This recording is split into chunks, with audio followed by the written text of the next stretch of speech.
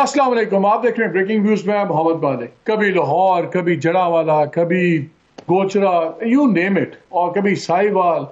Mobs आते हैं, जनाब जला देते हैं। कभी चर्च जला दिए, कभी घर जला दिए, दुकानें जला दी। लोग मारे गए, कत्ल हो गए। एंड में पता क्या लगता है? एक दो केसेस के अलावा सेलिब्रेटेड केसेस जो बहुत मशहूर हो गए। जैसे सियालकोट में वो श्रीलंकन मैनेजर को पहले मारा गया, जान से मारा गया, फिर लाश जला दी गई। उसके ऊपर सजाएँ हुई। आ, कुछ सजाएँ तो तीन चीज़ों पे दो तीन एक दो और केसेस में हुई लेकिन हार्डली बिल्कुल जिसको कहते हैं ना आटे में नमक के बराबर ना होने के बराबर। और हर जगह रिवॉर्ड मिलता गया। ख़ास तौर पर पंजाब में मजहबी तहा पसंदी का जो ये ये एक जानवर मैं इसको कहूँगा ये कितना कुछ निकल चुका है और एक बहुत बड़ी पॉलिटिकल बेस बन गई है। मज़हब के नाम पे तो पॉलिटिकल पार्टीज़ चल रही हैं। हम आज ये हमारा सब्जेक्ट है, क्योंकि वैसे तो आसान सब्जेक्ट ये था कि मैं आपके साथ बैठ के आज की काबीना डिस्कस कर लेता हूँ, जो काबीना अनाउंस हो गई। एक दो पॉलिटिकल कमेंट्स अभी कर लेंगे, लेकिन हम बात इस पे करेंगे, जो असल इस मुल्क का मसला है। बिकॉज़ ये जो मजहबी तहा पसंदी है, नफरतें, सियासत की और मज़हब की दोनों को मिला लें तो पूरा तबाही का एक फॉर्मूला इस मुल्क की अल्लाह रहम करे, बिल्कुल तैयार करके रखा गया इसलिए we have to talk about it पहले पॉलिटिकल पॉलिटिक्स को दो मिनट में साइड पे कर लें। पॉलिटिक्स में क्या हुआ है? आज इलेक्शन कमीशन ने अनाउंस कर दिया है कि वो अपना डिलिमिटेशन प्रोसेस शुरू करेंगे। और जो उन्होंने स्केड्यूल दिया है, उसके मुताबिक दिसंबर का मिडल 14 या 16 दिसंबर तक ये प्रोसेस ख़त्म हो जाना चाहिए। और उसके बाद फिर इलेक्शन का प्रोसेस होगा। और क्या वो 60 दिन के अंदर होगा? क्या होगा? अभी हमें नहीं पता। लेकिन जो अर्लीस्ट इलेक्शन अब नज़र आ रहा है, अगर होगा तो वो फेबररी के एंड में हो सकता है। वो भी इसलिए कि जो लीडर ऑफ़ द अपोजिशन थे, राजा रियाज साहब, उन्होंने इसको अंग्रेज़ी में कहते हैं let the cat out of the bag जब उन्होंने बताया कि जी, बड़ों ने पहले फैसला किया था कि जो ये इंटरम गवर्नमेंट है, ये काफ़ी मुद्दत के लिए बैठेगी। अब बड़ों ने फैसला कर लिया है कि इलेक्शन फरवरी में होंगे, वाकई। और अगर बड़ों ने दोबारा फैसला कर लिया कि पहले वाला फैसला तब्दील करने का वक्त आ गया है तो फिर क्या होगा? सो वी डोंट नो लेकिन एक चीज़ तो क्लियर हो गई है कि फरवरी अब तो आप भूल जाए। अब इंटरेस्टिंग सिचुएशन ये है कि मार्च में सेनेट के इलेक्शंस हैं, जो पहले हफ़्ते में होने। अब अगर ये फरवरी में पता लगेगा, अगर तारीख आती है दिसंबर के मिडल में 14 या 16 दिसंबर को अगर ख़त्म कर लेता है प्रोसेस फिर इसने इलेक्शन कमीशन ने अपना स्केड्यूल देना। वो सारे फॉर्म शॉर्म्स ये, वो इलेक्शन जो कम अज़ कम जो है, वो है तकरीबन छप्पन दिन से नब्बे दिन का मार्जिन है इसके पास इलेक्शन कमीशन के पास। तो अगर दिसंबर में हो भी जाए तो mid December mid Jan mid February तक इलेक्शन हो सकते हैं, अगर साठ दिन वाली गेम के अंदर हो। लेकिन वही देखना होगा कि उस वक्त बड़ों का क्या फैसला ये सिचुएशन आज कैबिनेट आ गई है। मोर एंड ओवरऑल अच्छी डिसेंट कैबिनेट मैं तो उसको कहूँगा। ज़्यादा टेक्नोक्रेट्स ही हैं बिजनेसमैन टेक्नोक्रेट्स मेरे नज़दीक जो पॉलिटिकल एक ही अपॉइंटमेंट है, और वो बड़ी इंटरेस्टिंग है, वो है इंटीरियर मिनिस्टर की, सरफराज बुख्ती साहब की। अच्छा सरफराज बुख्ती साहब बाकी तो सारे बात करते रहते हैं कि जो बड़े अच्छे दोस्त हैं, अनवार काकर साहब के प्राइम मिनिस्टर के सो ऑब्वियसली ट्रस्टेड है, इन्होंने इकट्ठे काम भी किया हुआ है। वो बलोचिस्तान में वज़ीर थे, ये स्पोक्समैन होते थे बलोचिस्तान गवर्नमेंट के काकर साहब so they work very close लेकिन सरफराज बुख्ती की जो सब चीज़ ये है कि वो आपके बलोचिस्तान का आप कह सकते हैं कि वो राना सनाल्ला से दो हाथ आगे भी हैं, जो सख्त हैवी हैंडेडनेस करने के मामले में। तो ये बड़ी इंटरेस्टिंग चीज़ अब देखनी होगी कि with Sarfaraz Bugti as interior minister और जो घर के बड़े हैं, वो सारे फैसले ले रहे हैं। तो अब पीटीआई के साथ क्या जो सलूक हो रहा है और जो इमरान खान के साथ हो रहा है क्या ये दो नॉचेस और ऊपर जाएगा और सख्त होगा? इस पर आने वाले दिनों में बात करेंगे। मैं आज का सब्जेक्ट डाइल्यूट नहीं करना चाहता। मैं अपने पहले गेस्ट साहब से इंट्रोड्यूस कर दूँ। हमें ज्वाइन किया है डॉक्टर किबला अयाज साहब ने chairman council of Islamic ideology Pakistan इस्लामी नजरियाती काउंसिल जिसको आप कहते हैं।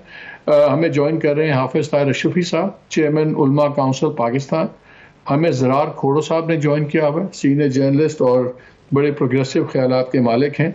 और हम प्रोग्राम के दरमियान में पीटर जेकब से भी बात करेंगे जो executive director centre for social justice है। आ, मैं तमाम मेहमानों को खुश आमदेद कहता हूँ। लेकिन नाजरीन के लिए आपकी इजाज़त से थोड़ा सा मैं नाजरीन चाहता हूँ कि आप पर्सपेक्टिव समझ लें कि हो क्या रहा है इस वक्त। तकरीबन पिछली तीन दिहाइयों में तीस सालों में पंद्रह सौ से ज़्यादा लोग उन पे या ये ब्लास्फमी का इल्ज़ाम लगा है और जो उसमें से कुछ मारे भी गए, कत्ल भी हो गए, ये तकरीबन पंद्रह सौ लोग हैं प्लस इंटरेस्टिंगली सबसे ज़्यादा इसमें मुसलमान ही हैं जिन पे इल्ज़ाम लगा हुआ है। एक हज़ार छः मुस्लिम्स थे और इन तमाम लोग में आठ लोग तो कत्ल हुए। पंद्रह सौ प्लस थोड़े से हैं। इसमें से एक हज़ार छः मुसलमान हैं। अब कहा जा रहा है कि ग्यारह सौ फिगर क्रॉस कर गया। बाकी कोई क्रिश्चियंस हैं बहुत ज़्यादा।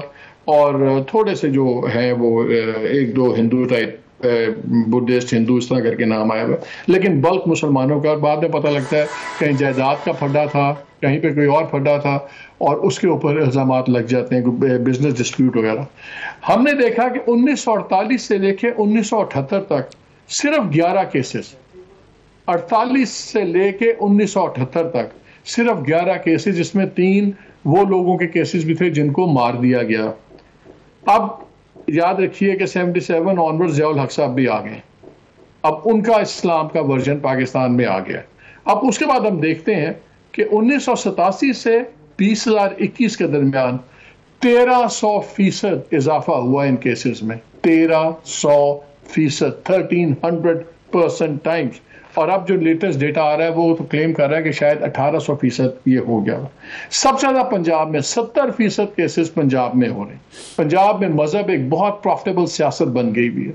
और मज़हब के नाम पे बनी हुई पार्टी ने बाय द वे पिछले इलेक्शन में थर्ड लार्जेस्ट वोट्स भी लिए हैं।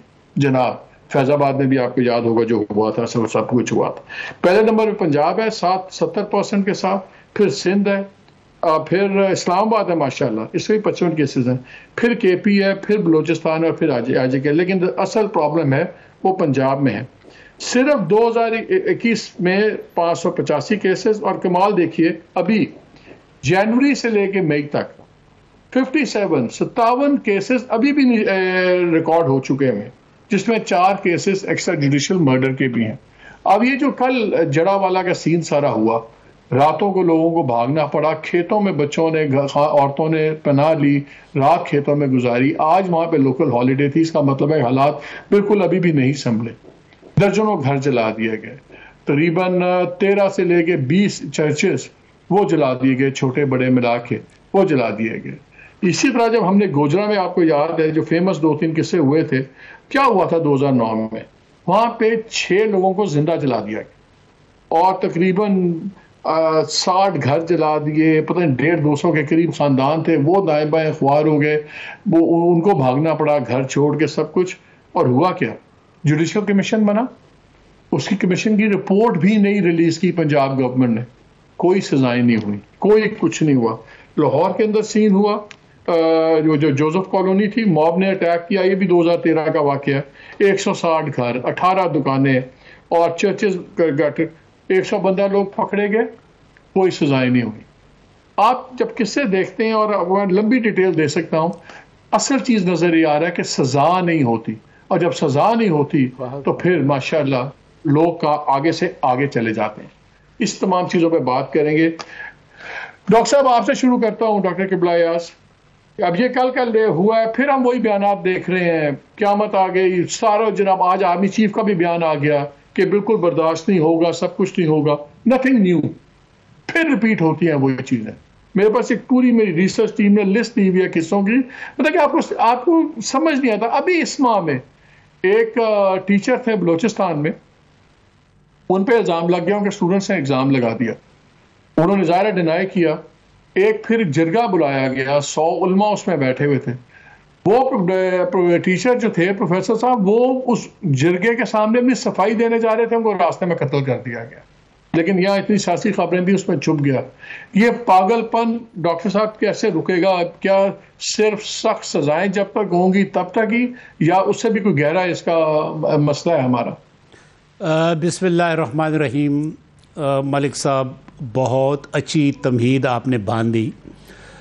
ये मसला बहुत गंभीर बन गया है और इसकी बड़ी लंबी तारीख़ है कि किस तरीके से मुख्तलफ़ अदवार में तकरीबन चार दहाइयों से मुल्क के अंदर एक इंतहा पसंदी, एक यूँ समझे कि अदम बर्दाश्त की कैफियत जो है वो बनती जा रही है। तो एक तो ये है कि जो इसका, इस्लाम का सॉफ्ट इमेज है इस पे बहुत ज़ोर देना चाहिए। इसके लिए हमें ज़रूरत है कि कराम के साथ हम मुसलसल इंगेज रहें और तालीमी इदारों के अंदर स्कूल टीचर्स जो हैं हमारे लाखों की तादाद में प्राइमरी और इसके बाद कॉलेजेस और यूनिवर्सिटियाँ लेकिन कानून का जो हवाला है, वो बहुत ज़रूरी है। आपने बड़ी तफसील के साथ बताया कि किस कदर वाक़ात हुए, लेकिन सज़ा शाज व नादिर ही हुई। अब मसन बरतानिया में आपने देखा, आज से आठ, दस साल पहले फसादात हुए। तो बरतानिया जैसे मुल्क में कि जो, जिसको जमहूरियत की माँ कहा जाता है, वहाँ रात दिन अदालतें लगी। रात को भी समात हुई, फौरी समात हुई और फौरी समातों की अदालतें हुई और सज़ाएँ दी गई। इसके बाद आपने देखा कि बरतानिया में उस किस्म के मसाइल जो है, वो दरपेश नहीं आए। पाकिस्तान के अंदर भी इस्लामी नज़रियाती कौंसिल ने सान हाय सियाल कोर्ट में जो तीन दिसंबर 2021 को हुआ और हमने खसूस इजलास का इनका किया, जिसमें हज़रतलामा हमारे ताहिर शफी साहब मौजूद थे। और सबने बिल इतफ़ाक़ ये फ़ैसला किया कि फौरी तौर पर सरसरी समात की खसूस अदालतें कायम हों, ताकि जल्द अज जल्द सज़ा हो। यहाँ पे ये नहीं है कि कानून मौजूद नहीं है। कानून मौजूद है, लेकिन सज़ा की यकीनीत नहीं है। जब सज़ा की यकीनीत हो जाए तो मैं समझता हूँ कि रफ्ता रफ्ता ये जो इस किस्म के इकदाम है या आवाम या लोगों का जो एक जुनून है आप कह रहे हैं आप कह रहे हैं आप कह रहे हैं कि स्पेशल कोर्ट्स बननी चाहिए जो इस किस्म के वाकयात के लिए स्पेशल कानून साजी हो स्पेशल कोर्ट्स बने ताकि वो स्पीडी जस्टिस के साथ फैसले हो जाए। मौजूद हैं कानून मौजूद हैं लेकिन जब अदालतों में फौरी सजा ना हो, फौरी समात ना हो तो फिर पाँच साल के बाद अगर आप कोई सजा दें तो फिर उसका क्या फ़ायदा? हाफिज हाफिज साहब ज्वाइन हो गए? जी। हाफिज साहब, ये बताया मैंने आपका प्रेस कॉन्फ्रेंस भी देख रहा था। आपने तो बड़े स्ट्रॉन्ग अल्फाज में मजम्मत की। आपने तो बल्कि पब्लिकली बड़ी अच्छा जस्टर किया। आपने बिशप साहब से हाथ जोड़ के माफ़ी मांगी हम सब की तरफ़ से कि पाकिस्तान में क्या हो रहा है। लेकिन हम देखते हैं, एक पैटर्न है। पैटर्न ये है कि ख़ास तौर पे देहाती इलाकों में, पंजाब के या जहाँ भी, छोटी मस्जिद का एक छोटा सा मौलवी साहब होते हैं, जो लोकल पॉलिटिक्स और लोकल झगड़ों में एक पूरा तमाशा लगा देते हैं। आप जैसे उलमा बाद में बड़ी मजम्मत करते हैं, लेकिन बाद में वो जो मौलवी होता है, वो जिस मर्ज़ी फ़िका का हो, जिस मर्ज़ी जमात का हो, अगर वो थाने से बच जाता है तो उस मस्जिद पे उसी का कब्जा होता है, जो आप जैसे बड़े उलमा हैं, ना उसको वहाँ से हटाते हैं, बल्कि उसको एक निज़ाम प्रोटेक्ट करता है। तो जितनी मर्ज़ी आप मजम्मत कर लें, हाथ जोड़ के माफ़ी मांग लें, अगर वो मौलवी अपनी जगहों पे बैठे हुए हैं, जिन्होंने इन तमाम इलाकों में ये वारदातें करवाई हैं तो फिर तो हम यही समझेंगे कि जो मजहबी बड़े लोग हैं वो प्रोटेक्ट कर रहे हैं इनको। तब तक कैसे फिर निज़ाम ठीक होगा? बिस्मिल्लाहिर्रहमानिर्रहीम। नहमदहू वनुसल्ली वनुसल्लिम अला रसूलिल करीम। मालिक साहब आप सुन रहे हैं मुझे? राइट जी जी मुझे आ रही है आवाज़। आवाज़ आ रही है जी? जी जी। मालिक साहब बहुत आपने आपने दुखती रग जिसे कहते हैं ना उस पर हाथ ही नहीं रखा आपने पूरा वज़न उस पर डाल दिया। आपने बड़ी तलख हकीकत को बयान किया है। बात यह है कि हमारी रियासत हमारी हुकूमत हमारा निज़ाम अदल वो इतना कमज़ोर हो चुका है कि हम, आ, हम हमें समझ ही नहीं आती हमने करना क्या है। हम अल्टीमेटली डंग टपाऊ जिसे कहते हैं वो पॉलिसी बनाते हैं। मैं आपको एक छोटी सी मिसाल देता हूँ आपने बहुत वाकयात बयान किए। जोसेफ कालूनी ये दो लड़कों का मुस्लिम मसीही दो बच्चों का कारोबार के ऊपर झगड़ा हुआ था वो भी शराब के कारोबार पे। कि जो मुसलमान था वो मिलावट करके बेचता था। जो मसीही था वो असली बेचता था। मुसलमान ने उसे कहा कि यार मेरे साथ मिल जा। उस पर झगड़ा हुआ। वहाँ के जो ताकतवर लोग थे सियासी आप भी लाहौर में रहते हैं आपको जोसेफ कॉलोनी पता कितनी कीमती जगह है। उन्होंने कहा यार ये तो मसीही लोग हैं कमज़ोर लोग हैं। लिहाजा आपस में इतफाक किया तीन दिन बाद यानी दो रातें बिज़नेस मीटिंग हुई। कामयाब नहीं हुई तीसरे दिन ऐलानात हो गए कि जनाब इसने तोहीन की है। भाई तोहीन एक बंदे ने की है ना उसको पकड़े। वहाँ का जो एमपीए था, वहाँ की जो अलीट सियासी क्लास थी, जिस जमात की हुकूमत थी, वो शामिल हुए, वो कॉलोनी जला दी गई। मालिक साहब, फैसला क्या आता है? कि तमाम मुजरिम बरी, वो जो बच्चा है, जिस पे इल्ज़ाम लगा तोहन रिसालत का, उसको सजाए मौत। वो एतराफ कर रहे हैं कि हम दोनों आपस में बैठ के शराब पी रहे थे जब ये वाक्य हुआ। हमारी अदालत ने शराब पीने की सजा भी नहीं दी। ये है आपका निज़ाम अदल, जिसकी वजह से ये वाकयात में कमी नहीं आ रही। आप इसी केस में एक महीने के अंदर ट्रायल करके सजाएँ देना, और फिर आप कोई पॉलिटिकल पार्टी ये तय करे, आपस में पॉलिटिकल पार्टियाँ कि हमने वोटों के लिए कंप्रोमाइज नहीं करना। ये तो हाफिज साहब ये हाफिज साहब ये तो एक ये तो एक साइड हो गई ना। मैं आपसे पूछना चाहिए ये जड़ा वाला में हमने सुना कि पहले पहले कुछ लोग आए थाने नहीं मैं सवाल मेरा सुन ले दोबारा कि थाने में आए तो हाँ। दो घंटे के बाद मस्जिदों में लान शुरू हो गए। ये जो मस्जिदों में लान मौलवी करवाते हैं मैं और फिर वो बाद में मस्जिदों में बैठे हुए हैं उसका जिम्मेदार कौन है? जी। मैं यही अर्ज़ करने लगा हूँ मालिक साहब टीवी पे आने के लिए, डॉक्टर पास जाने के लिए, कहीं और किसी काम के लिए तो डिग्री चाहिए है। उसको चेक किया जाता है। ऐसे लोग भी हैं, मैं हल्फन आपको कह सकता हूँ, जिनको कुलू अल्लाह नहीं आती है, लेकिन वो मस्जिदों के इमाम है।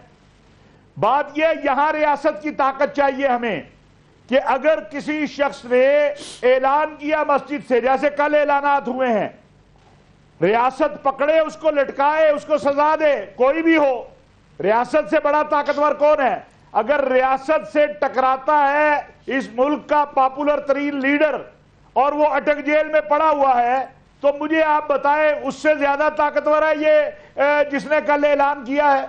उससे ज़्यादा तो ताकतवर नहीं है ना? उससे कमज़ोर ही है। मसला मसला ये है मसला ये है मसला ये है कि रियासत से जब एक लीडर टकराता है तो बाकी लीडर उसके साथ खड़े नहीं होते। लेकिन जब भी रियासत हमने देखा है किसी भी एक आलिम के साथ किसी फिका के मौलवी के खिलाफ निकलती है तो सारे जो मजहबी रहनुमा हैं वो उसकी प्रोटेक्शन में आ जाते हैं। बिकॉज़ उनको ये लगता है कि आज इसकी बात है तो कल इस मुल्क में एक जमात ने जिसके पास सुन लीजिए जिन्होंने धरना दे के दो पिंडी के चौक बंद कर दिए वो बाद में कानून साजी उनकी मर्ज़ी से होती है उनके साथ एग्रीमेंट्स होते हैं। उनके साथ जाके कोर कमांडर को भी मिलना पड़ता है। वो जाके किसी पॉलिटिकल लीडर की वो पावर नहीं है जो इस मुल्क में मजहबी लीडरों की पावर है। देखे मैं आपको अर्ज़ करूँ, मालिक साहब, बात तलक हो जाएगी। इस मुल्क में आज भी बड़े ताकतवर लीडर जब रियासत ने चाहा तो उनका आता पता ही पता नहीं है कहाँ है। मौलाना मसूद अजहर आज कहाँ है? आप मुझे बताएँ, आज मसूद अजहर को आप मौका दे दें, मीनारे पाकिस्तान 24 आवर दे दें, वो आपके तमाम सियासी लीडरों से बड़ा जलसा कर लेगा। मजहबी लीडरों से बड़ा जलसा कर लेगा। लेकिन जब रियासत ने चाहा कि वो ना आए सामने तो नहीं आए। किधर है वो आज? रियासत जब फैसला करे, रियासत को फैसला करना होगा। आपकी सियासी एलीट को फैसला करना होगा। इस्लामी नजरियाती कौंसिल ने जो चीज़ें सारे सियालकोट के ऊपर कर कर दी, क्या उस पर अमल हुआ? नहीं हुआ। भाईजान, जिस वक्त आप मदद मांगने चले जाते हैं उन्हीं लोगों से। आप कहते हैं, इसका मेरे हल्के में पाँच हज़ार वोट है। ये तलख बात है, फिर मुझे कहीं आप, हमारे सियासी दोस्त नाराज़ ना हो जाएँ। लिहाजा पाँच हज़ार वोट के लिए जो होता होने दो। नहीं चाहिए पाँच हज़ार वोट। जब पाँच सीटें भी और नहीं चाहिए इस मुल्क को जहनुम बना दिया है। आज पाकिस्तान की क्या तस्वीर है दुनिया के अंदर? आज आप आप इंग्लिश मीडिया अरब मीडिया में जाएँ मुझे दुनिया इस्लाम के बहुत अहम लोगों के कल से फ़ोन आ रहे हैं कि क्या है? क्या मैं अपने बच्चे को ये बताऊँ कि ये ये दीन तो इस्लाम फिर अभी क्या इलाज क्या है? मुझे ये बताएँ जैसे की उम्र तो देखे जरा मालिक साहब वो ये बताइए बच्चियाँ जो खेतों में खौफ से छुप के रात सोई हैं। सही बात। ये डॉक्टर किबला ने कहा कि डॉक्टर किबला साहब ने कहा डॉक्टर किबला याज ने भी कहा कि एक तो ये है कि ऐसे मामला में कानून साजी हो जैसे भी हो वो आपको स्पेशल कोर्ट्स लगे। और वही इनके फैसले करें स्पीडी फैसले। आप एक तो आप उसकी तायद कर रहे हैं। उसके अलावा क्या है? अब अगर पॉलिटिकल नहीं अपनी बाज आते, वो पाँच हज़ार वोटों के लिए ही करते हैं तो फिर, यानी कि ऐसे ही चलेगा। भाईजान आपकी अदालतें जो है ना, मैं मालिक साहब अब थक गया हूँ। सच्ची बात, आज मैं आपके प्रोग्राम में करूँ इसलिए मैं टीवी पे बहुत कम आता हूँ। हम थक गए हैं यार। आपके जज के सामने पड़ा होता है कि इसने ये जुल्म किया है वो आपका जज उसकी जमानत लेके उसे घर भरी करके भेज देता है। मुझे बताएँ मैं किसके पास जाऊँ? मैं किसका तो दरवाज़ा मैंने जो हा- आपको बताया इसका एक इलाज ये भी नहीं है कि ये लाजिम हो कि इन तमाम मुकदमात में जो मदई है वो रियासत ही बने। क्योंकि जैसे लाहौर वाला हुआ जोजो कॉलोनी वाला कि जी बाद में उनकी वीडियोस भी थी उनकी पिक्चर्स भी थी बाद में आगे कि जी वो विटनेसेस ने जी पहचाना ही नहीं है लोगों को। तो एक तो ये इलाज है कि कम अज कम स्पेशल कोर्ट्स हों और दूसरा हर मुकदमे में रियासत मुदई बने, ताकि आम आदमी पे प्रेशर ही ना आए ये। बिल्कुल रियासत मुदई बने, रियासत ना भी मुदई बने, रियासत तहफुज दे, एहसास दे कि हम आपके साथ खड़े हैं। जोसेफ कलूनी का मैं आपको कहता हूँ कि वो एतराफ है कि हम दोनों की लड़ाई शराब पीते हुए हुई। अच्छा मैं मैं भी आपके मैं भी मैं भी आपके पास आता हूँ मैं जरा जर- जरार खोड़ों से भी क्वेश्चन कर लूँ बिकॉज़ मेरा एक सवाल अभी रह गया आपके पास वही वाला कि ये जो मौलवी सारा जो इस तरह का अल्लाह और रसूल के नाम पे गंद करते हैं कत्लो गारत करवाते हैं उनको मजहबी जमातें खुद क्यों नहीं हाथ लगाती? उस पर मैं बात बात में करूँगा आपसे। जरार यहाँ पे एक कोर कमांडर का घर जला तो क्यामत आ गई पूरे मुल्क में कि जी, ये हो गया, वो हो गया, पाकिस्तान की सालमियत खतरे में आ गई। ठीक है, बहुत बड़ा वाकया था। जब सैकड़ों दर्जनों घर जलते हैं चर्चेस जलते हैं, हमें फिर स्टेट का उसके ऊपर वही रिएक्शन क्यों नज़र नहीं आ रहा? आज बयान आया है आर्मी चीफ का विच इज़ कमेंडेबल अच्छी बात है। बट बयान तो हम सुन रहे हैं पिछले तीस सालों में, हर कोई बयान देता है। इशू इज़ इसमें फिर रियासत इतनी बोल्डली क्यों नहीं आती? मेरा ख्याल है आप भी इस सवाल का जवाब जानते हैं लेकिन चलें। आप देखिए हमारे रियासत का जो बुनियादी स्ट्रक्चर है बुनियादी मकसद है वो कमज़ोरों को की हिफाजत करना नहीं है वो ताकतवरों की हिफाजत एक तो ये बात है। आम, दूसरी बात मैं भी ताहिर अशरफी साहब की तरह थक गया हूँ। बार बार हम इसी मौजू पर बात करते हैं होता कुछ नहीं है। आपको याद होगा मालिक भाई के जब प्रियंथा कुमारा का किस्सा हुआ था उसको कत्ल किया गया था उसकी लाश को जलाया गया था और लोग सेल्फियाँ ले रहे थे उसके साथ। आ, तो आप आपके ही शो पे आपके ही प्लेटफॉर्म पर इस पर आपने मुझे दावत दी थी तो मैंने कहा था कि यार इसके बाद ना आपने हज़ार सर्टिफिकेट बांट ले आप लाख अवार्ड बना दें लोगों को फ़र्क नहीं पड़ेगा। आपने इसको जानवर कहा है मैं इसको कैंसर कहूँगा और ये अब ला इलाज है। इसलिए नहीं कि हमारे पास सर्जरी हम नहीं कर सकते, हम कर सकते हम करना नहीं चाहते। क्यों नहीं करना चाहते? मेरा ख्याल है आपने बहुत खूबसूरत अंदाज में ये चीज़ें पहले से बयान कर दी हैं और अभी हिबला साहब और ताहिर अशरफी साहब भी इन पर बात कर रहे हैं। देखो, एक तो है सोसाइटल एक है पॉलिटिकल एक है लीगल चलिए, अगर हम लीगल पर ही आए अभी ताहिर अशरफी साहब का जो बयान था वो बहुत अच्छा था और मुझे इससे याद आया कि जब 2012 में रिमशा मसीह का केस था। याद है आपको? एक कम उम्र ईसाई लड़की थी थोड़ी सी मेंटली अनबैलेंस्ड भी थी और उस पर कुरान की सफ़ों को जलाने का इल्ज़ाम लगाया गया था। इस वक्त ताहिर अशरफी बहुत कम लोग आवाज़ उठा रहे थे अपने, अपनी, ताहिर अशरफी साहब ने आवाज़ उठाई और अगर मुझे दुरुस्त याद है तो कहा था कि ये नहीं, ये हमारी बेटी है, ये कौम की बेटी है। क्या हुआ उस कौम की बेटी का? बाद में हमें पता लगा कि जो हाफिज़ मोहम्मद खालिद चिश्ती साहब थे, जो वहाँ के कारी थे जिन्होंने इल्ज़ाम लगाया तो उसने एतराफ़ किया कि नहीं, वो असल में मैंने ही ये सफ़े उसके थैले में डाले थे, क्योंकि, और कोर्ट अगर मुझे सही इतना याद है, क्योंकि और कोई तरीका नहीं था यहाँ से ईसाइयों को निकालने का। अच्छा यहाँ पर फिर लैंड माफिया का भी किरदार आ जाता है, बहुत सारी चीज़ें आ जाती हैं। रिमशा मसीह को, और शायद वो खुशकिस्मत है, मुल्क छोड़ के जाना पड़ा।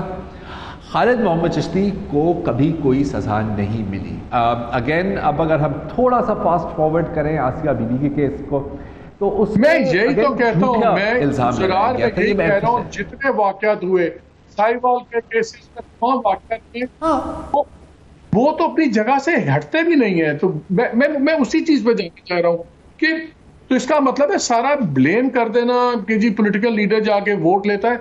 ये ये सिक्योरिटी नंबर्स है ना। तो शफी साहब मुझे ये बताएँ फिर आपके पास ही आ रहा हूँ बिकॉज़ आप तो एक्टिव हैं उलमा के साथ आप एक्टिव हैं मजहबी मामला के अंदर और आपको इस बात का क्रेडिट जाता है कि ऐसे खतरनाक सब्जेक्ट्स पे आपने बड़ी खुल के हमेशा बात की है।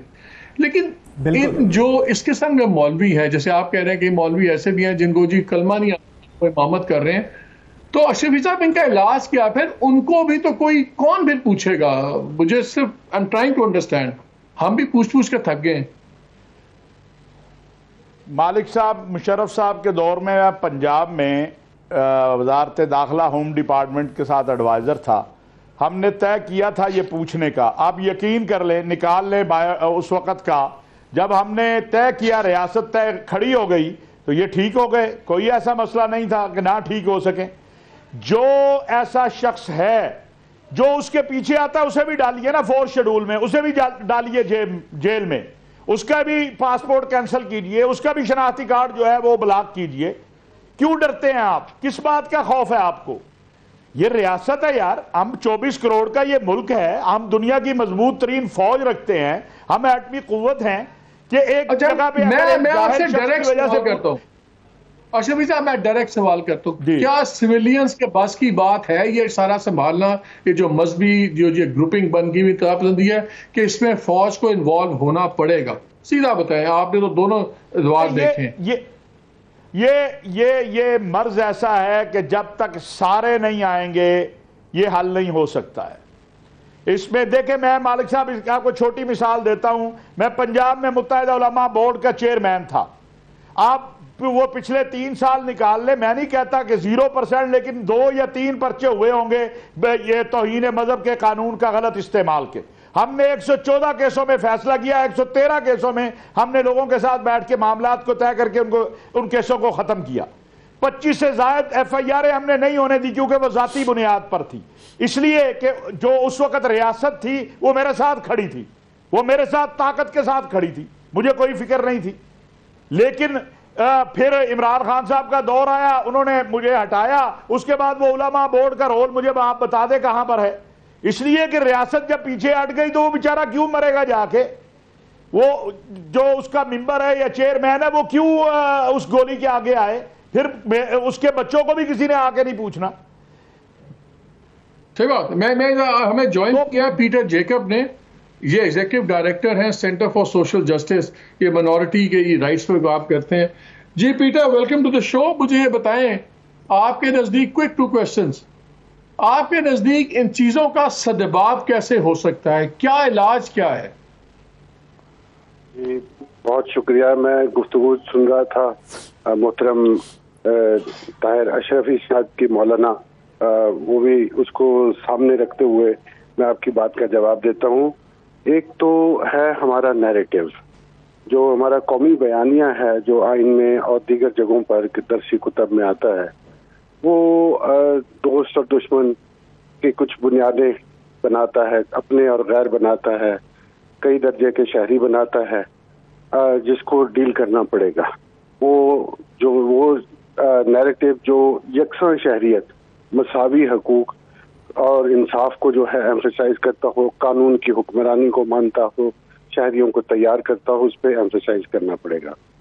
और कुछ है हमारी ऑपरेशनल या अमली मजबूरियाँ जिनका ज़िक्र अभी अशरी साहब ने भी किया कि अगर हम अपनी रियासती इदारों को, खासतौर पर पुलिस और एडमिनिस्ट्रेशन को ये एम्पावर नहीं करेंगे कि वो ये मुझे बताएँ पहले कल जड़ा वाला जड़ा वाला इंसिडेंट में पुलिस का क्या रोल रहा है हमें कुछ खबरें आ रही कि जी पुलिस बिल्कुल ला ताल्लुक रही उसका इन्वॉल्व नहीं हुई।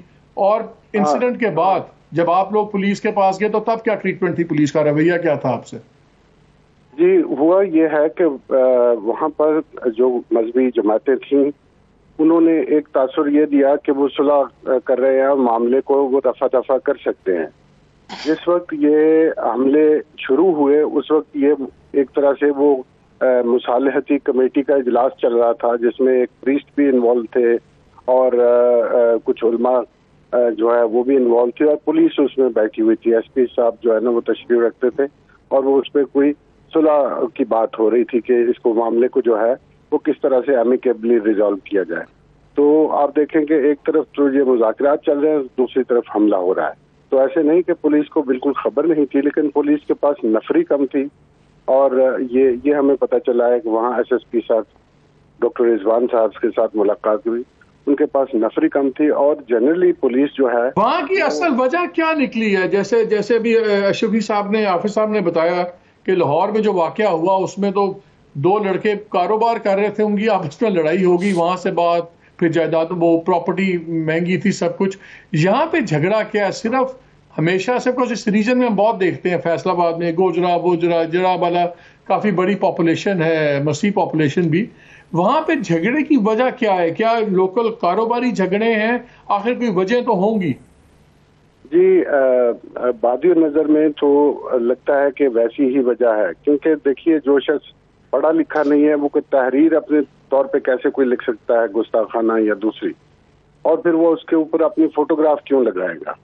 ये ये जो है, वो वो बात जो है वाजे करती है। ये ज़रूर इसी किस्म की कोई साजिश है। इस शख्स को एक छोटी सी नौकरी सरकारी मिल गई थी जिसका नाम मुलजिम के तौर पर आ रहा है। और फिर इसके अलावा जो है, वो सर्कमस्टांसेस ये बताते हैं कि ये इश्तेहाल अंगेजी जो है, वो लाउड स्पीकर से शुरू होती है और फिर जल्दी से इतना बड़ा मजमा इकट्ठा हो जाता है कि काफ़ी सारी आबादियाँ और आठ नौ चर्च जो है ना छोटी छोटी जगह पे और इस तरह से उनको नज़र आतिश कर दिया जाता है। तो लगता तो वही है कहानी लेकिन कुछ बातें जो है वो तफ्तीश में सामने आएँगी जिसका अभी किसी को भी मालूम नहीं है क्योंकि जो मुलजम है वो हम, हमारे साथ ही रहिएगा पीटर साहब स्टे विद अस डॉक्टर किबला मुझे ये बताइए कि हमने नज़र ये आता है कि हर चीज़ को ना किसी और के जिम्मे डालने की कोशिश कर रहे हैं हम यहाँ पे निज़ाम। अगर वो है तो अमन कमेटियाँ बन गई हैं। हाँ जी, अमन कमेटी बैठ के करेगी। अच्छा जो मौलवी जो सारा कुछ शुरू करता है, जो मस्जिद का जो इमाम है, जो भी है, सबको सजाएँ हो जाती हैं, उसको सजा नहीं होती, वो वहीं का वहीं है। उस, और उसको बल्कि रिवॉर्ड ही मिलता है, वो शायद पहले से ज़्यादा मशहूर हो जाता है, पहले से ज़्यादा पावरफुल हो जाता है। मुझे ये बताएँ कि ये क्या जो अमन कमेटीज़ हैं, ये उनका एक रोल भी है? लेकिन क्या ये पावर ब्रोकर्स नहीं बन गई? क्या सिंपल इसको नहीं होना चाहिए? अगर आप ये करेंगे तो ये सजा मिलेगी, अगर ये करेंगे तो ये होगा। हम क्यों इन चक्रों में हैं? अमन कमेटियाँ, जरगे जो बैठ रहे हैं, मसालियाती करा रहे हैं बिकॉज़ वो तो फिर गिव एंड टेक होता है ना। और ये जरगे तो हमने देखा का फैसला होता है, दूसरा तो कॉम्प्रोमाइज ही करता है। तो क्या हम लोगों ने खुद ही ये नहीं बीच में चीज़ें क्रिएट कर दी जो ज़्यादा गंद डालती हैं? मालिक साहब हमने सुनी बहुत तफसीली गुफ्तु अपने माहरीन की। पीटर जैकब साहब तो मर्द मैदान है इस मौजू पे। हज़रत ताहिर महमूद अशरफ़ी साहब काफ़ी अरसे से इस इस किस्म के मामलात में बड़ा कलीदी किरदार अदा कर रहे हैं। ज़रार कोड़ू साहब ने भी बहुत ही आलमाना गुफ्तु की। मेरा ख़्याल ये है और मुझे यकीन है कि जिस दिन रियासत ये फ़ैसला करे कि जड़ावाला का वाक़ आखिरी वाक़ है। तो ये आखिरी वाक़ ही होगा। अमन साहब रियासत की मुझे तारीफ़ करें रियासत की मुझे तारीफ़ करके बताएँ आप मेरे मैं तो जब रियासत की बात करता हूँ यकीन माने मेरे मतलब रियासत का मतलब होता है फौज। आम फहम आदमी कहता है जब हम रियासत कहते हैं ना रियासती इदारे रियासत ने सोच लिया है तो लोग समझते हैं फौज। जब लोग कहते हैं हुकूमत तो दिमाग में आती है इलेक्टेड जो सिविलियन गवर्नमेंट है। जब आप रियासत की बात करते हैं तो आप भी खुल के हम बात करें क्या आप भी उससे आपकी मुराद फौज है। बिल्कुल मैं आपको रियासत जो है रियासत तो हुकूमत यकीनन एक बहुत अहम हवाला है कि बुनियादी तौर पे ज़ाहिरन तो ज़िम्मेदारी हुकूमत की होती है लेकिन उसकी पुष्ट पर जब हमारे हसास इदारे ना हों उसकी पुष्ट पर जब हमारा इंटेलिजेंस सिस्टम ना हो उसकी पुष्ट पर फिर जब क़वत ना हो उस वक्त तक ज़ाहिर है कि ये तमाम अवामिल जब मिलकर एक फ़ैसला ना करें उस वक्त तक ये इस किस्म के मामला जो है ये आखिरी मामला नहीं बन सकता। मैं समझता हूँ मुझे आज भी जब जो आप लोगों की जैसे अशफी साहब ने पॉइंट आउट किया आप लोगों की जब रिकमेंडेशंस पे कोई अमल नहीं हुआ जब गोजरा की रिपोर्ट बनी जुडिशल कमीशन की और पंजाब गवर्नमेंट ने उसको पब्लिश भी नहीं किया क्योंकि उसके अंदर वो ब्लास्फमी लॉज की अमेंडमेंट की बात कर रहे थे पुलिस की बात कर रहे थे। तो उस पर क्या आप लोगों का कोई रोल है इस्लामी नजरियाती काउंसिल का कि आप लोग फोर्स करें गवर्नमेंट को कि भाई ये रिपोर्ट निकालो, ये चीज़ें इसके मुताबिक कानून साजी करो। इसका मैं इनकी एक रिपोर्ट पढ़ रहा था अमेरिकन की। उसके मुताबिक उन्होंने तो कहा था कि जी, ईरान के बाद सेकेंड सख्त तरीन कवानीन ब्लास्फेमी के पाकिस्तान के हैं दुनिया के अंदर। सो कवानीन तो हमारे पास बहुत हैं। तो जब ये रिपोर्ट्स वगैरह खुद गवर्नमेंट्स नहीं छापती तो क्या आप लोग उसमें कुछ रोल प्ले कर सकते हैं? जो कर सकते हैं और ना किया हो। देखें, जहाँ तक इस्लामी नज़रियाती कौंसिल का ताल्लुक है सियालकोट के वाक़े पे हमने जो रिपोर्ट तैयार की है, ये मुकम्मल तौर पे एक शाया शुदा रिपोर्ट है और ये हुकूमत के तमाम इदारों को हमने भेजी है। इसमें हमने इन, इस किस्म के जो मसाइल हैं इसका नफसियाती पहलू इसके मुआशी पहलू इसके माशरती पहलू इसके मजहबी पहलू हर हवाले से इस पर गुफ्तगु की है तो और उस पर कानूनी तजावीज भी दी है। उस पर कोई मिनिस्ट्री ऑफ़ लॉ से कैबिनेट से किसी ने कोई आपसे दोबारा बात की है उस पर देखें इसमें जो बुनियादी जहाँ से इब्तदा होगी वो है कि सज़ा को यकीनी बनाया जाए मुझे अफसोस है कि अब तक सज़ा को यकीनी बनाने का पहलू जो है इस पे हमें अमल दिखाई होते हुए नज़र नहीं आ रहा। इब्तदा होगी यहाँ से कि इसका जो कानूनी पहलू है क्योंकि बाकी जो पहलू हैं वो ऐसे पहलू हैं कि ये वक्त तलब है। मसलन नफसियाती हवाले जो हैं इसमें काम करना मुआशरती हवाले जो हैं सर इसमें मुनाफा बढ़ा है मुनाफा बढ़ा है। मजहबी सियासत बड़ी प्रॉफिटेबल है। आप देखिए जितने मजहबी रहनुमा हैं टैक्स आपको नज़र आएगा एक पैसे का टैक्स नहीं दे रहे लेकिन हर कोई आपको पता लगेगा तेरह करोड़ की वो वी एट के अंदर फिर रहा है। हर एक के साथ दो दो डाले चल रहे हैं जिसके अंदर आठ आठ दो दो बंद, दस दस बंदे वो लेके ए के फोर्टी सेवन बैठे हुए हैं। उनके घर आप देखें जितने आपके पीर हैं जितने आपके इस किस्म के मजहबी रहना उनमें से माशाल्लाह फाइनेंशियली सारे ज़बरदस्त हैं। करोड़पति अरबपति हैं टैक्स एक भी नहीं होता। तो इसकी खाली नफसियाती तो मुझे तो इसमें हवस भी पैसे की बहुत ज़्यादा है उसमें लेकिन उस पर आएँगे वो एक पूरा एक सब्जेक्ट अलहदा है। जरा मुझे I am going to ask you the tough question बात बड़ी सिंपल है। माजी में हमने देखा कि रिलीजियस आउटफिट्स को बहुत ज़्यादा रियासती इदारों ने प्रमोट किया प्रोटेक्ट भी किया। और उसका इंडिया सेंट्रिक बड़ा था कश्मीर के के अंदर बड़ी चीज़ें थी अफ़गानिस्तान का इशू इन्वॉल्व था। फिर हमने देखा कि डिसंगेजमेंट होती जा रही है। मुशरफ साहब के ज़माने से शुरू हुई, लेकिन बीच में इतनी ज़्यादा नहीं हुई। लेकिन in the last three four years हमने देखा कि आर्मी का भी रवैया बिल्कुल बदल गया है, बहुत बदल गया। और अब हमने एक बहुत फिर एस्केलेशन देखी है कि इनको रगड़ा लग रहा है। बट जो तहरीक लबैक भी थी, वो उस पर भी तभी रगड़ा लगा था जब उन्होंने almost rebellion in the army करवाने की कोशिश की थी, वरना उससे पहले तक वो भी कोशर थे। अब ये लग रहा है कि शायद ये क्वेश्चन नहीं होंगे। किस तरह मजबूर किया जा सकता है कि ये मई नाइन्थ वाली ट्रेजिडी ही समझा जाए इस जड़ा वाला को और ताकि आइंदा साहब हमें नज़र आ रहा है कि मे नाइन्थ दूसरा नहीं होगा। क्या इसके ऊपर भी हो सकता है कि ये भी मे नाइन्थ की तरह बना दिया जाए? या बन जाए, अल्लाह करे। नहीं, मेरा नहीं ख्याल। मेरा नहीं ख्याल। मेरा नहीं ख्याल। मेरा ख्याल है कि जब ये दोबारा होगा और दोबारा होगा तो हम यही बातें कर रहे होंगे और हम यही सवाल पूछ रहे होंगे कि जी क्या किया जाए हमें तो कुछ समझ नहीं आ रही। देखिए गिरजे ही जले तो क्या बड़ी बात है। क्यों नहीं होगा? क्यों नहीं? जरा क्यों नहीं हो। सकता? यार बिकॉज़ बिकॉज़ हमारी मैं पहले भी वही कहा था, हमारी रियासत की ये प्रायोरिटी नहीं है ना सर देखिए, आपको इन लोगों को इस्तेमाल भी करना होता है, बहुत अब आपको माजी में जाने की ज़रूरत नहीं है, हमें फैज़ाबाद का धरना भी याद है, उसके बाद जो हुआ था, वो भी हमें याद है, हमें पता है कि इसमें पोलिटिकल कार्ड भी प्ले होता है। और फिर आप कभी लोकल फैक्टर को भी मत भूलें ना। अब ये बात कहना शायद मुनासिब नहीं होगी, लेकिन मैं कहने पर मजबूर हूँ कि शायद बहुत जो पुलिस वाले हैं, वो इनफैक्ट राइटर्स की साइड पर ही हैं, अपने दिल के अंदर। हमने हमने इस तरह के केसेस भी देखे हैं आखिरकार। अब देखिए अगेन मैं किबला साहब के साथ अग्री करूँगा इसमें। बुनियादी बात है आप सजा दें। यार आप पूरे आप, आप ये कहना कि नहीं जी पूरा माशरा बेहतर होगा सब साथ मिलकर हाथ मिलाकर आगे चलेंगे तो बस ये तो कभी नहीं होने वाला। आपको भी पता है मुझे भी पता है।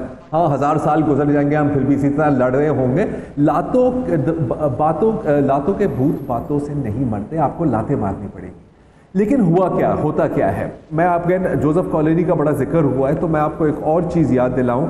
कि तकरीबन तीन हज़ार लोग वहाँ पर गए और जैसे चाहे अशरफी से आप भी बोल रहे थे, उसकी वजह कुछ और थी मनसूबाबंदी हो रही थी। ये तो मुमकिन नहीं है ना यार कि पुलिस को नहीं पता होता। पुलिस को पता होता है कि कौन जवारी है, कौन शराब बेचने वाला है, कौन जेब कटता है। लोकल पुलिस को सब कुछ पता होता है। अच्छा जब ये केस गया चीफ जस्टिस के सुप्रीम सुप्रीम कोर्ट में, उस वक्त के चीफ जस्टिस थे इफ्तार चौधरी साहब। और इफ्तार चौधरी साहब ने ये सवाल पूछा पंजाब हुकूमत के वकील से कि जी आपकी पुलिस तो साइडों पे खड़ी हुई है, बिल्कुल जैसे यहाँ पर खड़ी हुई है। तो जवाब दिया वकील साहब ने कि जी, जब एक रिलीजियसली चार्ज मॉब होता है ना तो पुलिस साइड पे हट जाती है क्योंकि उनको फ़िक्र होती है कि अगर यहाँ पर गोलियाँ चली और अगर कोई यहाँ पर जहाँ बाग हो गए तो ये आग मजीद फैल सकती है। और यह बात गलत भी नहीं है। कुछ इसमें है इसमें पॉइंट टू इट लेकिन फिर उसमें चीफ साहब ने कहा कि इसका मतलब है कि जब भी रिलीजियसली चार्ज मॉब आए, नारे लगा रहे हों, और तो फिर पुलिस हट जाएगी, पुलिस उनका सामना नहीं करेगी। तो अगर कल हमारे सुप्रीम कोर्ट पर इसी किस्म के मॉब ने हमला किया तो आप क्या कहेंगे कि सर अपना ख्याल खुद रखें, और हम अपनी डेस्कों के पीछे छुप रहे होंगे? तो ultimately it comes down to action on the ground मैं मैं मैं इतना मतलब नाइव नहीं हूँ कि मैं समझता हूँ कि यार कोई जादू की छड़ी है ये माशरा बहुत बेहतर हो जाएगा। नहीं हो सकता। अच्छा पुलिस का भी समझें। पुलिस की जब ये टीएलपी के साथ की कॉन्फ्रेंटेशन हुई तो क्या बना उस पुलिस, उन पुलिस वालों का? हाँ लोगों की आँखें गई लोगों की जाने गई। क्या बना उनका? किसको सजा मिली? तो पुलिस भी तो एक हद तक ही आगे जाएगी ना। अल्टीमेटली देखिए अगेन अगेन हमने हमने मे नाइन्थ में हमने मे नाइन्थ में यार बड़ा सुना ना ये जियो फेंसिंग ये जियो वो पता नहीं जो भी इनका जियो शियो चल रहा होता है मुझे इतनी टेक्नोलॉजी की समझ नहीं है। यहाँ पर आप नहीं इस्तेमाल कर सकते। जोसेफ कॉलोनी में तो बाकायदा लोगों ने सेल्फियाँ ली थी यार। वो सेल्फी आप भी देख सकते हैं। कौन पकड़ा गया? अच्छा क्यों नहीं पकड़े गए? क्योंकि फिर गाहान पे इतना दबाव आता है क्योंकि जैसे किबला साहब बोलते हैं यार जब पाँच छः सात साल केस चलता है तो भाई आप एंड में एंड में आपने कॉम्प्रोमाइज ही नहीं करनी। हमारी जो रेप केस की कन्विक्शन है वो एक फ़ीसद से कम है। क्यों? क्योंकि दस साल केस चलता है यार। ये है आपका निज़ाम और आपका निज़ाम। यार जो अमीर हैं वो इंसाफ खरीद सकते हैं इस मुल्क में खरीद सकते हैं। वो वकील खरीद सकते हैं उससे ऊपर की भी खरीद सकते हैं। मैं तो कहना नहीं चाहता जितने लोग मरते हैं आई थिंक जरा let me take a comment from कीड़े मकोड़े मरते हैं। कीड़े मकोड़े मरते हैं। अगर कल इस तरह के बात बात सच है। हाफिज साहब जरार की बात ठीक है कि लगता ही है कि रियासत सिर्फ़ ताकतवर के बचाव के लिए है कमज़ोर के लिए नहीं और क्योंकि इन तमाम फसादात में अनपढ़ गरीब लोस तबका मरता है इसलिए वो बयान के बाद बात भी आगे चली जाती है। मुझे आपसे ये बताएँ, मैं जो आपसे बात क्योंकि आप इस पर खुल के बात करते हैं। हमारी एक एक रिलीजियस इकॉनमी है, मजहबी मीशत कह लें आप, जिसमें सबसे नीचे यही जिन मौलवियों को आप कहते हैं, अनपढ़, जाहिल मौलवी हैं, लेकिन यही ग्राउंड पे है। इसके ऊपर मजहबी जमातों ने अपनी स्ट्रेंथ बनाई हुई है, इसके ऊपर ही मजहबी लीडरों ने अपनी स्ट्रेंथ बनाई हुई है। तो बहरहाल अल्टीमेटली यही उनका बेस है, जिसको वो छेड़ते नहीं है। तो इनको वो अपने इकॉनमी की वजह से नहीं छेड़ते। पुलिस डरती है, जैसे जरार ने पॉइंट आउट किया कि उसका मलबा बाद में कौन उठाएगा? टीएलपी केस हमारे सामने है। तो फिर प्रायोरिटी अगर किसी की नहीं है तो फिर क्या हम बिल्कुल तबाही की तरफ़ चले जाएँगे? इसमें ब्रेक कैसे लगेगी? कोई तरीका तो है। चले, अदालतें हो गई अदालतें कहेंगी, जी, हमारे पास केस लाओगे तो हम फैसले करेंगे ना। तो क्या फिर इस ये ये भी एक प्रायोरिटी डिसाइड होनी चाहिए? जैसे फौजी की आदत ने सिविलियन साथ मिलकर बाकी कहा था एग्रीकल्चर आईटी फलाना, और एक हो गए जी ये मजहबी इंतहा पसंदी को भी उसी बेसिस पे रोकना है। क्या इस तरह का हमें चाहिए? इसके बगैर कोई चारा नहीं है आपके पास। आपके पास यही एक रास्ता है कि सारे मिलकर बैठे और तय करें कि इस्लाम बाकी दुनिया में भी है। सऊदी अरब में हमसे बहुत ज़्यादा इस्लाम है। वहाँ तो हदूदुल्ला भी नाफिज है कई मामलों में। सऊदी अरब में तो कभी ऐसा वाक़ नहीं हुआ। अमारात में हमसे ज़्यादा मस्जिदों में लोग मौजूद हैं। वहाँ तो कभी नहीं हुआ ऐसा वाकया। मिस्र में हम क्या वहाँ मुसलमान नहीं? सत्तावन इस्लामी मुल्कों में सिर्फ़ पाकिस्तान में मुसलमान बसता है। बात यह है कि हमने हर चीज़ जो है, उसका एक क्राइटेरिया मुकर कर लिया है कि बस ठीक है, मैं मैं हूँ। और जब मेरा एसएचओ मेरा सीपीओ मेरा आरपीओ मेरा एसपी कब्जे के लिए मौलवी को फ़ोन करेगा या मजहबी जमात के रहनुमा को करेगा कि यार ये तुम भी कर लो, हिस्सा मुझे भी दे दो तो फिर भाईजान यही कुछ होगा। लिहाजा बगैर आर्मी की इन्वॉल्वमेंट के, बगैर हमारे सलामती के इदारों की इन्वॉल्वमेंट के ये मामला हल नहीं हो सकता। आपका ये मरज नीचे से लेकर ऊपर तक जा चुका है। लाहौर शहर के अंदर आप आप लाहौरिये हैं, आपको पता है। कि यहाँ पर कब्जा ग्रुप में किसका नाम चलता है? क्या कोई एमएनए एमपीए की ज़रूरत है कि वो लिबर्टी में जाके फैसले कर ले? या मार रोड, हार रोड के फैसले कर ले? कहाँ होते हैं? क्या हमें नहीं पता? मैं लाहौर का रहने वाला हूँ, आप भी, आपको नहीं पता। भाई, ये जो दीन के नाम के ऊपर ये ताकतवर बना दिया आपने उस बेचारे को जिसकी कैपेसिटी नहीं थी और बड़ा सिंपल सा रास्ता मिल गया उसको। कि सर पे पगड़ी बांधो, एक कलाशन को वाला साथ रखो तो शहर सारा आगे लग जाता है। तो फिर यही कुछ होगा ना। लेकिन मैं फिर मालिक साहब आपको अर्ज़ कर रहा हूँ कि मुशरफ साहब के दौर में सिर्फ़ एक फैसला हमने किया कि इन सब के गनमैन वापस ले लो और ये अपने गनमैन लेके गाड़ियों के अंदर रखेंगे। आज के लोगों से वो लोग ज़्यादा ताकतवर थे। हफ़्ते के अंदर निज़ाम ठीक हो गया था। दूसरा हमने फैसला किया था कि जो भी मुतशद तकरीर करेगा सेवन एटी ए के तहत उस पर पर्चा दो। आप यकीन कर ले बड़े बड़े लीडर जो थे ब्रिगेडियर इजाज शाह साहब होम सेक्रेटरी थे कभी उनसे पूछे उनके दरवाजे के बाहर बैठे थे कि एक बार माफ़ी। और भाई जो दीन के लिए काम करने वाला है उस गरीब को तो ना रियासत पूछती है। मैं आपको एक छोटी सी बात कहूँ जो असल दीन की बात करने वाला है उसे तो डीसी अपने दफ्तर में नहीं आने देता। बहुत शुक्रिया। नाजिन, वक्त बिल्कुल थोड़ा सा लेकिन मैं इतना ज़रूर कहना चाहूँगा, असल चीज़ है, मुनाफा खत्म होनी चाहिए रियासत की इस मामले के अंदर। इसको एक नेशनल इमरजेंसी के तौर पर डील करें, रियासत मदई बने स्पेशल कोर्ट्स बने, और बिल्कुल इसको एक सबसे बड़ा गुनाह कबीरा तो है इसको जुर्म भी सबसे बड़ा कत्ल की तरह समझा जाए बिकॉज़ ये कत्ल मीशत का भी है, ये कत्ल इंसाफ का भी है, और हमारे तमाम सोसाइटी को और मुल्क को थ्रेटन कर रहा है। ये किसी एक महल्ले या एक उसका नहीं है। मरेगा तो हमेशा गरीब, शायद इसीलिए प्रायोरिटी नहीं बन रहा। लेकिन ये एक ऐसा खौफनाक बनकर इस मुल्क में ये जो मजहबी इकॉनमी है, ये बड़ी खौफनाक है। और इसको तोड़ना बड़ा ज़रूरी है। ये जितने आपको नज़र आते हैं, आपको पीर भी नज़र आएँगे बड़े पार्टीज़ के लीडर भी नज़र आएँगे। सिर्फ़ जाके ये पता कर लीजिए या एक गूगल मार लीजिए, इनमें से कोई टैक्स देता है, नहीं देता। इनका जो लाइफ स्टाइल है ये इन्हीं चीज़ों पे पनप रहा है। रियासत को, आर्मी चीफ को, प्राइम मिनिस्टर को, चीफ जस्टिस को, इस पे तीनों को मिल के खुल के एक सांस लेना होगा कि पाकिस्तान और मजहबी नफरत इकट्ठे नहीं चलते। पाकिस्तान और मजहबी मुनाफ्त नहीं चल सकती। अगर ये चीज़ें नहीं तो फिर अल्लाह हाफिज। इजाज़त दीजिए। अल्लाह हाफिज़।